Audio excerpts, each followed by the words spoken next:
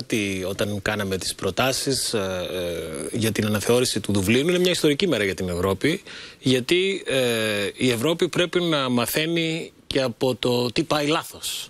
Και δεν υπάρχει καμιά αμφιβολία ότι το Δουβλίνο έτσι όπως το ξέραμε απέδειξε τα ωριά του. Δεν μας βοήθησε. Διότι το Δουβλίνο μετακύλησε την ευθύνη της διαχείρισης του ασύλου στις χώρες της πρώτης γραμμής.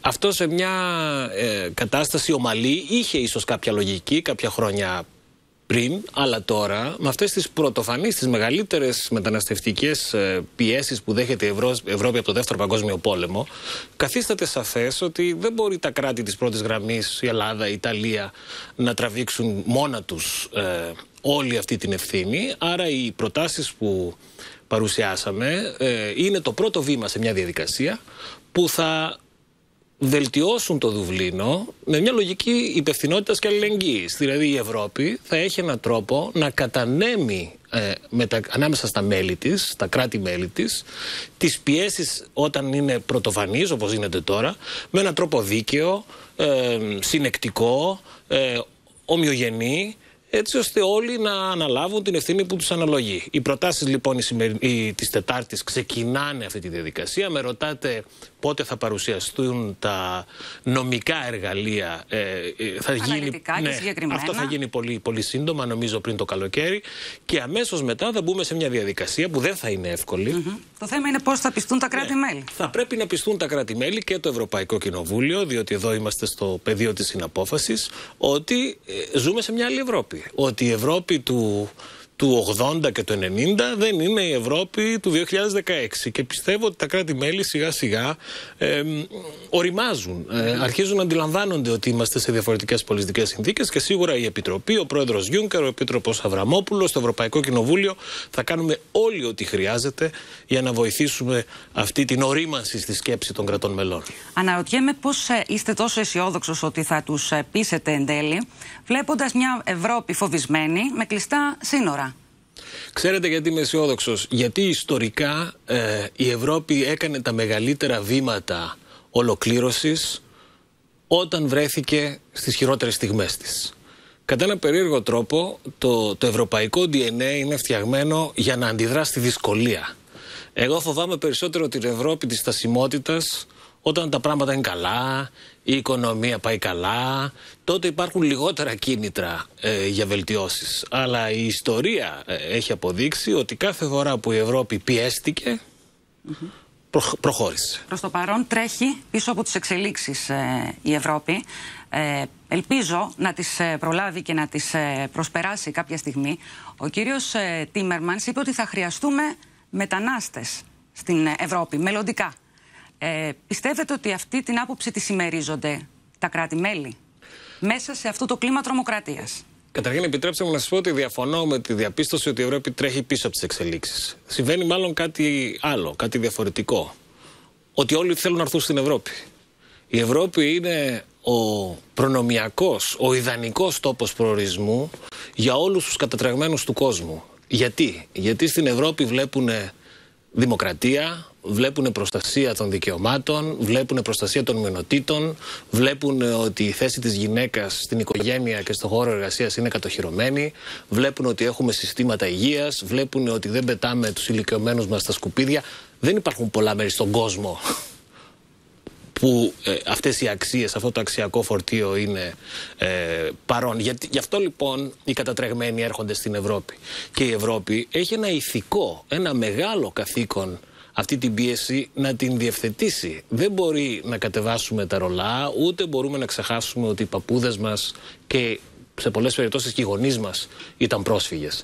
Άρα στην Ευρώπη θα χρειαστεί να φτιάξουμε, μόλις βγούμε από το τωρινό τούνελ των δυσκολιών, θα χρειαστεί να φτιάξουμε ένα σύστημα νόμιμης μετανάστευσης. Θα χρειαστεί να βάλουμε κάτω, όπως κάνουν οι Αμερικανοί και οι άλλοι, πόσους ε, ε, καταρτισμένους, ε, ειδικούς χρειαζόμαστε από τον υπόλοιπο κόσμο, από τις τρίτες χώρες και όπως έχουν οι Αμερικάνοι τη λεγόμενη πράσινη κάρτα, πρέπει και εμείς να αποκτήσουμε σε λίγα χρόνια μια μπλε κάρτα, μια ευρωπαϊκή κάρτα, που θα δίνει το δικαίωμα στους μετανάστες από τρίτες χώρες που θέλουν και μπορούν να δουλέψουν ε, εδώ, να το κάνουν. Γιατί έχουμε ανάγκη ε, και τα κοινωνικά μας συστήματα ασφάλισης έχουν ανάγκη και η οικονομία μας έχει ανάγκη και αυτό φυσικά ε, συνδέεται και αυτό με το Δουβλίνο με το οποίο συζητούσαμε πριν.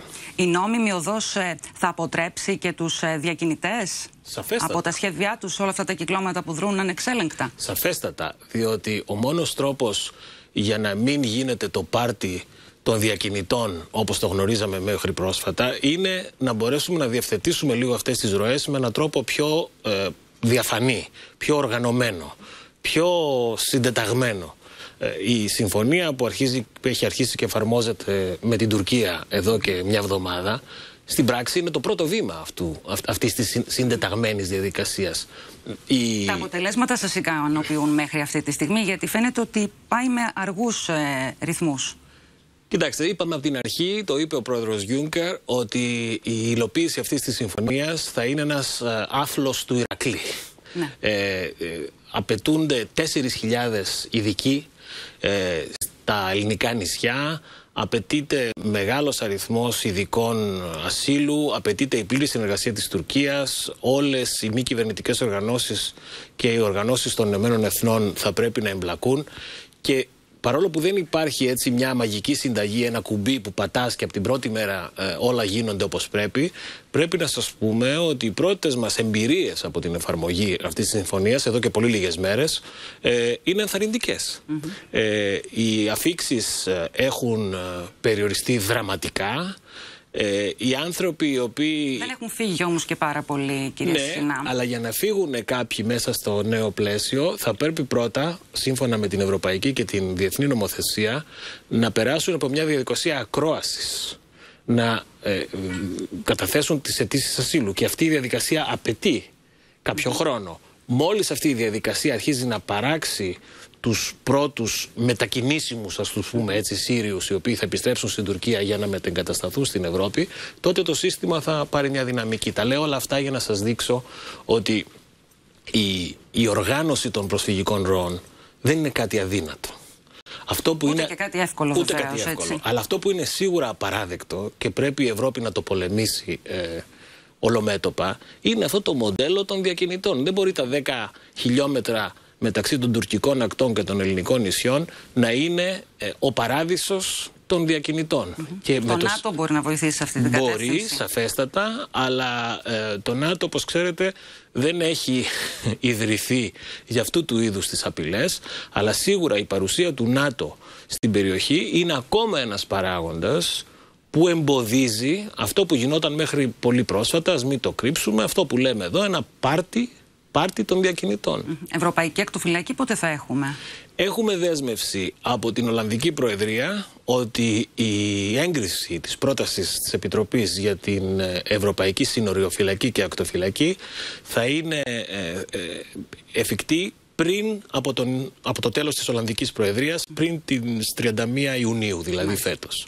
Και αυτό θα είναι ένας παράγοντας που θα αναβαθμίσει ποιοτικά το ρόλο μας στη φύλαξη των συνόρων. Προς το παρόν έχουμε αύξηση των αιτήσεων ασύλου στην Ελλάδα γιατί δεν επιθυμούν τη μετεκατάστασή τους ε, στην ε, Τουρκία. Ε, είστε λοιπόν αισιόδοξος ότι θα προχωρήσει καλά αυτή η ιστορία; Ναι, είμαι αισιόδοξος. Και παρόλο που αυτό το μαζικό κίνημα, κύμα με συγχωρείτε, κατάθεσης αιτήσεων ασύλου στην πρώτη φάση της διαδικασίας αναπόφευκτα καθυστερεί την πρόοδο. Mm-hmm. Ε, παγώνει κάποιες διαδικασίες. διαδικασίες. Απ' την άλλη μεριά όμως είναι συστατικό στοιχείο της νομιμότητας του νέου συστήματος.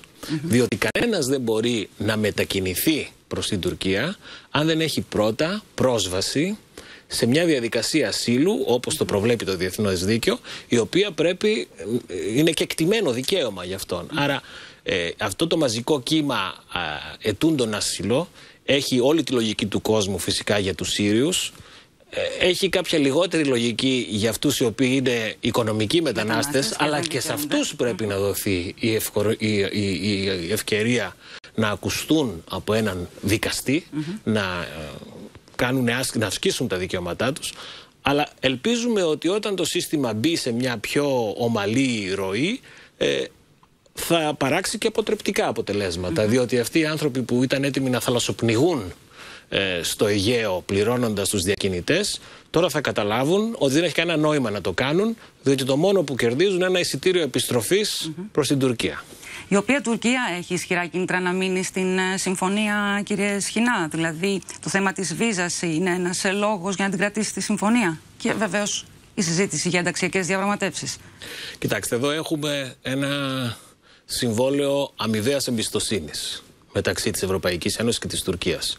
Μην γελιόμαστε, ο ένας χρειάζεται τον άλλον. Για διαφορετικούς λόγους, αλλά όπως όλες τις συμβάσεις ε, αμοιβαίου ωφέλους, πρέπει και οι δύο πλευρές και τα δύο συμβαλόμενα μέρη να καταθέσουν ε, αυτό που, που χρειάζεται. Ε, η Τουρκία και η πρώτη φάση της εφαρμογής δείχνει γνήσια θέληση της Τουρκίας να τηρήσει τα συμφωνημένα και εμείς στην Ευρώπη έχουμε αναλάβει τρεις συγκεκριμένες ε, υποχρεώσεις τις οποίες στηρούμε. Πρώτον είναι να ενισχύσουμε οικονομικά όχι την Τουρκία αλλά τα εκατομμύρια των Συρίων προσφέγων που ζουν στην Τουρκία προσωρινά να βελτιώσουμε τις ε, συνθήκες ζωής τους και τα λοιπά με τα 3 δισεκατομμύρια ευρώ. Το δεύτερο ε, υπεσχημένο το ευρωπαϊκό είναι να επιταχύνουμε τη διαδικασία των ε, θεωρήσεων της βίζας, αλλά αυτό δεν θα γίνει με έκπτωση στις ευρωπαϊκές αξίες, θα γίνει μέσα από τη λογική των ευρωπαϊκών αξιών και θα μου επιτρέψετε τώρα να σας πω ίσως είναι και η Ελλάδα μια από τους κερδισμένους mm -hmm. της απελευθέρωσης των τουρκικών ε, θεωρήσεων διότι είμαστε χώρα διπλανή. Έχουμε τα περισσότερα να κερδίσουμε από αυτό. Και το τρίτο φυσικά μέσα από μια διαδικασία επιτάχυνσης των ενταξιακών διαπραγματεύσεων της Τουρκίας η οποία και αυτή όμως δεν θα γίνει με εκτόσεις και σίγουρα δεν θα γίνει εις βάρος της Κύπρου. Έχουμε μια δυσάρεστη εικόνα ε, στην Ιδωμένη και στον ε, Πειραιά η οποία τίνει και να παγιωθεί, δεν θέλουν ε, να φύγουν πολλοί πρόσφυγες και μετανάστες ελπίζοντας ότι θα μπορέσουν να βρουν πρόσβαση σε άλλες ε, χώρες. Πώς το σχολιάζουν αυτοί, αυτό οι εκπρόσωποι των άλλων κρατών ε, μελών; Κοιτάξτε, η, η αλήθεια είναι ότι η Ιδωμένη και ο Πειραιάς δεν κοσμούν την εικόνα της Ευρώπης ε, ούτε στην Ευρώπη ούτε διεθνώς. Αλλά ε, εγώ τουλάχιστον προσωπικά προτιμώ να βλέπω την κατάσταση στην Ιδωμένη ως το τελευταίο κεφάλαιο μιας θλιβερής ιστορίας η οποία Και το νέο κεφάλαιο που ανοίγει είναι η πολύ φιλόδοξη Ευρωτουρκική Συμφωνία η οποία αν τηρηθεί όπως θέλουμε και όπως ελπίζουμε ουσιαστικά θα είναι το τέλος της ειδωμένης. Δηλαδή εδώ η, η, η επιλογή είναι ή δουλεύει η συμφωνία με την Τουρκία ή θα έχουμε πολλές ειδωμένες. Και θα επιτευχθεί ο στόχος των 6.000 μετεγκαταστάσεων πολύ σύντομα πιστεύετε; Σε τι ορίζοντα; Κοιτάξτε, ο Δημήτρης Αβραμόπουλος ως αρμόδιος επίτροπος ε, έχει αναγάγει αυτό σε ύψιστη ε, προτεραιότητα, νομίζω δικαίως. 6.000 διότι... το μήνα, ναι, έτσι. Ναι, όχι μόνο είναι ο, ο αρμόδιος επίτροπος, αλλά είναι και ο Έλληνας αρμόδιος mm. επίτροπος, άρα έχει πλήρη γνώση της κατάστασης. Ε, πιστεύω ότι είναι πιο λογικό και πιο εύκολο όσο η συμφωνία με την Τουρκία παράγει αποτελέσματα να επιταχυνθεί και η μετεγκατάσταση των ανθρώπων οι οποίοι βρέθηκαν στην Ελλάδα πριν τη συμφωνία με την Τουρκία είναι μια προτεραιότητα. Ε, ο, ο Επίτροπος είναι πολύ ε, ε, ορεξάτος θα μου επιτρέψετε να πω. Δουλεύει πολύ με τους ομολόγους του, τους υπουργούς για να μπορέσει να επιταχύνει τη μετεγκατάσταση αυτών των ε, δυστυχισμένων ανθρώπων. Όταν να περιμένουμε και τους υπόλοιπους εμπειρογνώμονες ε, στην Ελλάδα και τι γίνεται στο πλάνο της ε, Κομισιόν σε ό,τι αφορά την, την ανθρωπιστική ε, βοήθεια; Υπάρχει μια πολύ σταθερή ροή εμπειρογνωμόνων Ευρωπαίων ε, η οποία όλο ένα και αυξάνεται. Ε, το κύμα ευρωπαϊκής αλληλεγγύης ε, ε, που πολλοί περιμένουν να το δούνε την πρώτη ώρα της συμφωνίας καταλαβαίνετε ότι δεν μπορούν 4.000 άνθρωποι ξαφνικά να αφήσουν ό,τι κάνουν και να βρεθούν στα ελληνικά νησιά αλλά υπάρχει μια πολύ σταθερή ροή αυξητική το ίδιο και από, τις, από τους κοινοτικούς οργανισμούς ασύλου, τον ΕΑΣΟ και φύλαξη των συνόρων, την Frontex. Ε, πιστεύουμε λοιπόν ότι πολύ σύντομα θα φτάσουμε τους ε, αριθμούς που έχουμε ε, βάλει ως στόχο. Σε κάθε περίπτωση εδώ το ζητούμενο είναι η ροή των αιτήσεων ασύλου να μπορεί να αντιμετωπίζεται πάντοτε με επαρκή ε, ικανότητα δικαστών, διερμηνέων και οι επιστροφές να έχουν επαρκή αριθμό ε, συνοριοφυλάκων και προσωπικού ασφαλείας. Τώρα, ε, Πιστεύω ότι ξαναλέω ότι βρισκόμαστε στην πρώτη φάση, αλλά τα πρώτα στοιχεία είναι ελπιδοφόρα. Μάλιστα.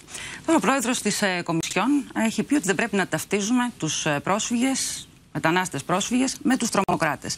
Επειδή βρισκόμαστε στις Βρυξέλλες, θα ήθελα να μου πείτε καταρχήν πώς βιώσατε και εσείς προσωπικά, αλλά και οι εργαζόμενοι στην ε, Κομισιόν και οι Βέλγοι πολίτες ε, γενικότερα, τις ε, τρομοκρατικές επιθέσεις. Καταρχήν, πριν ε, συζητήσουμε για, τις προσωπικές μας, για τα προσωπικά μας βιώματα, ε, πρέπει να σας πω ότι η, κυρίως αυτό που είχε πει και ο Γιούνκερ για, τους, για, τις, για όσους θέλουν να συνδέσουν τους πρόσφυγες με την τρομοκρατία, ότι οι Σύριοι πρόσφυγες που βρίσκονται στην Ευρώπη είναι αυτοί που φεύγουν από την Ισλαμική ε, τρομοκρατία. Είναι ακριβώς τα θύματα της Ισλαμικής τρομοκρατίας. Άρα αυτοί οι αυτοματισμοί που διάφορες έτσι, δυνάμεις